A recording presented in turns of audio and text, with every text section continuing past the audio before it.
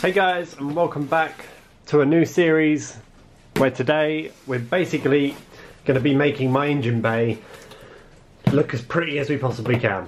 So, we've got a bunch of parts in here from PaintModz. Now, obviously, when you buy these parts, you are more than welcome to buy them fully painted or hydro dipped or however you want. I've gone for a slightly different approach, which is I'm going to paint it all myself. There's two reasons for that. One, I want to learn how to paint stuff properly, and secondly, basically the cost of getting them painted. I want to see if it's worth you guys buying them brand new and painted straight away, or whether it's worth you know, doing it yourself if you can save that extra bit of money. So for those more budget focused people, hopefully this will help you. Um, and it will just kind of show you that you can do it yourself. Anyway, so this is the fuse box cover. It's just a bit of plastic. That's all it is. Um, so what we're going to do is basically just put a slight key into this, primer it, and then we're going to pick a colour. I'm starting to think going with the classic white and black theme for my engine bay will look wicked. Um, obviously I was planning on making all of these gloss black um, and then just having caps in a frozen white colour. But I feel like having a more white engine bay will actually be quite cool, especially if we're going down the route of maybe going to shows and meeting some of you guys at some point. So um, we're going to try that, I think. So we're going to make all the main covers frozen white, and we're going to have gloss black caps on top. So I think that should look pretty cool. But anyway, this is the you know fuse box cover. Comes with everything you need, just some sticky pads and stuff. Um, we've also bought. I'll just pop this over here. We've also bought the battery cover. So obviously when you buy from their website you can buy in textured plastic, carbon, um, or this kind of raw plastic look. So this is the raw plastic look.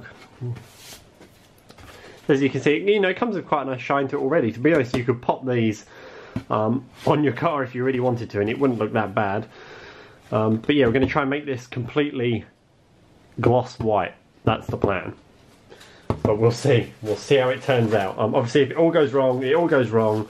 Um, but I'm going to release this video no matter what. It's going to be a multiple part series, so um, prepare yourselves for that. So that's the battery cover. And then finally, we've got this one. Um, in all honesty, I can't remember what this one was. Now I think about, I think it might be the coolant cover. So once again, just comes with little sticky pads. Comes with a fitting guide, which is very nice. Um, and then you, there's your coolant cover cap. Probably sits on it that way. So we're going to paint that also nice and shiny white. So that's everything that I've bought other than I have here three caps. Um, so there's your cap, that's like a washer cap. Um, that's your oil, I think, cap. I think it is, pretty sure it is. Um, and then that might be like your coolant or something like that cap. So these are all going to be gloss black. Um, and then we're going to paint the other things frozen white. And then if it all turns out okay, we'll then paint the actual engine cover uh, frozen white and gloss black. We may actually do it the other way around though. A lot of people go for the top of the engine cover being um, frozen white and then the bottom being gloss black. I may have a gloss black top with a little indent of frozen white. That way it kind of brings out the gloss a bit more uh, or the gloss black a bit more um, compared to kind of having it all frozen white. But anyway, let's start prepping some of these items. So the items I bought, um, these were just from B&Q. Um, I've just got some plastic primer. This will be for anything that I'm doing frozen white. So I'm going to primer it in white matte finish first. And then obviously when I receive my frozen white paint, which I bought, I'll show you that in a future episode. Um, hopefully this will kind of make it all stick nice and bring it out cool. For the gloss black parts, I'm going to be using what I used on the fog lights and everything. Uh, this is a straight onto the plastic paint. You don't need to primer it or anything like that. It just goes straight onto plastic. So it's super, super cool stuff. Um, but this is just black gloss finish. Um, but we're going to really try and make a gloss finish with these on the caps. So we're going to wet sand them back. And for that, I've just bought some of this stuff, once again, from B&Q. Um, just different grit things. This top one here, which is, I think it's the, that'll be the 600 one, I think, at the front. Um, I can barely feel it when I'm putting my finger over it. Um, so that's like super, super fine. And as you can see on the back here, um, so basically it comes with medium, fine, super fine and ultra fine.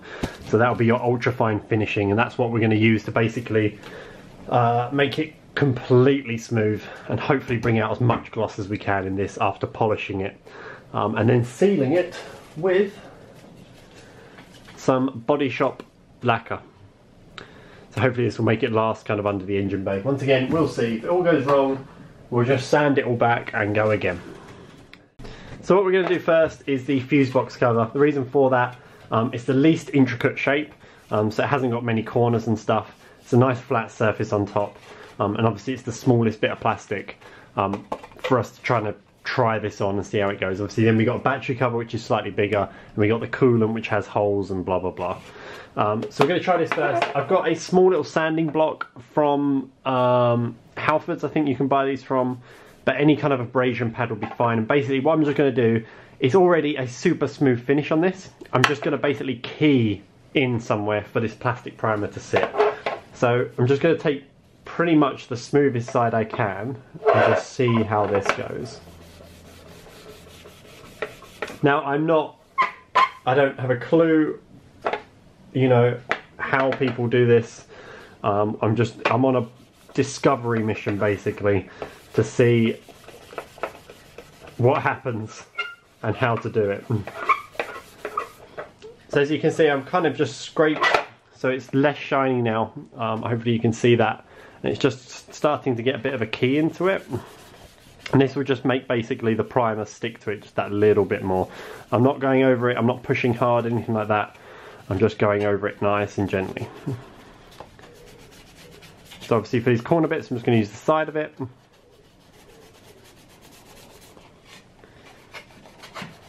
Um, basically, so basically I'm just going to work around this whole thing and then I'll get back to you.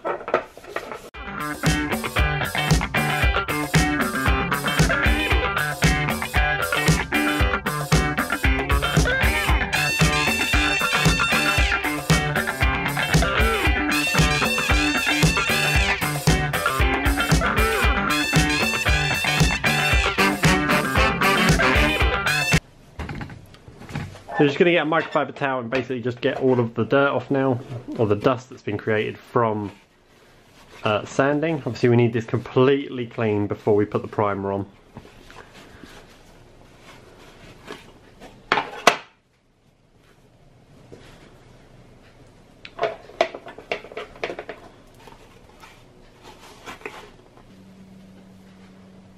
And there we have it.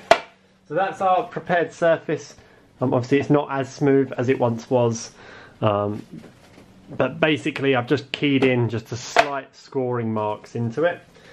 Um, and now we're going to try the plastic primer. So let's head outside. Obviously we need to shake this for about two or three minutes first hand. Um, and then we're just going to primer it up and see how it goes. Okay, so what I've created just before I do primer it um, is just this little box. Basically it's the box that came in. Um, I've just taped the ends. Basically, I'm just going to sit that over the top of it so no dust gets on it.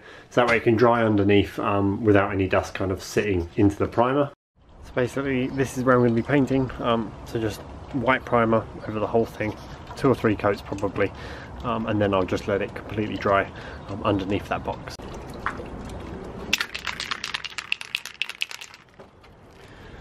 Once again, that's the stuff I'm using. Um, and just a note, I have no idea what I'm doing. We're just going to try and do it.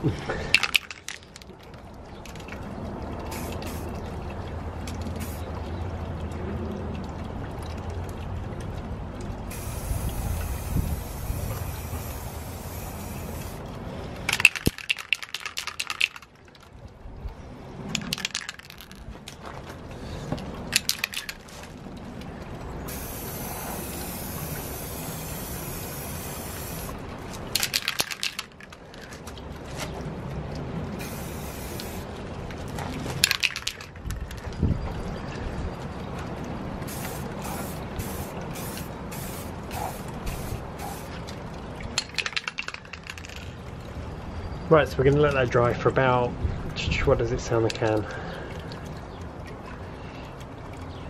uh, several light coats a few minutes apart. So we're just going to let that dry for like a few minutes um, and then come back to it and do it again. But as you can see, I'll just give you a close up.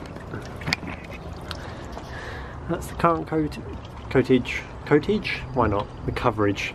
Um, that's the current coverage of this. Obviously we've got a bit here that we missed, but we'll go over it all again about two or three times.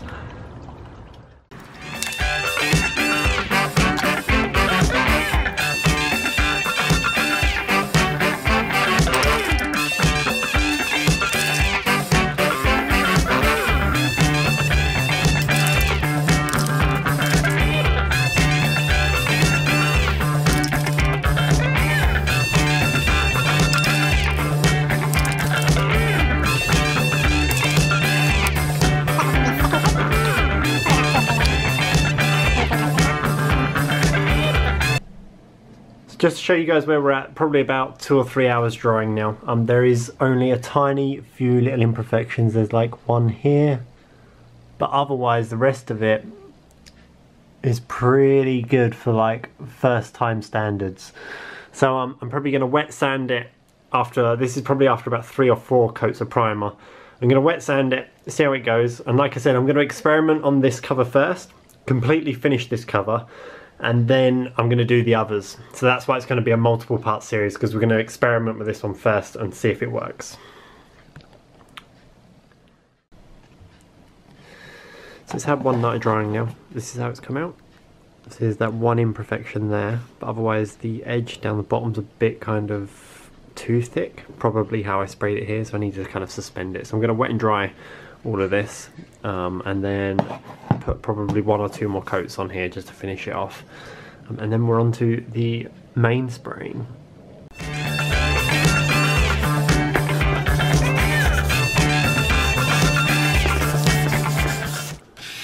Just really gently going over it just to kind of make it nice and smooth.